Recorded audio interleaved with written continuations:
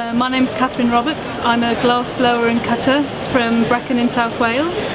Um, I have a small business called the Gate Gallery and Glassworks in Brecon um, where I manufacture my work and also retail it to the public. I produce a lot of blown glass. The unique selling point of my work is I work into the glass afterwards.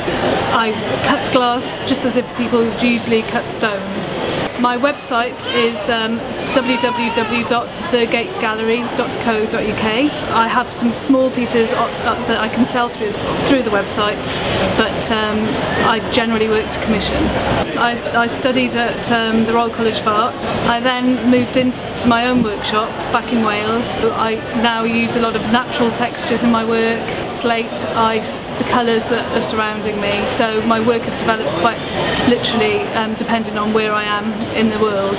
Um, now I'm back home, I feel that I've got the confidence and the skills to be able to um, use glass in a, a less conventional way to produce exquisite interior pieces.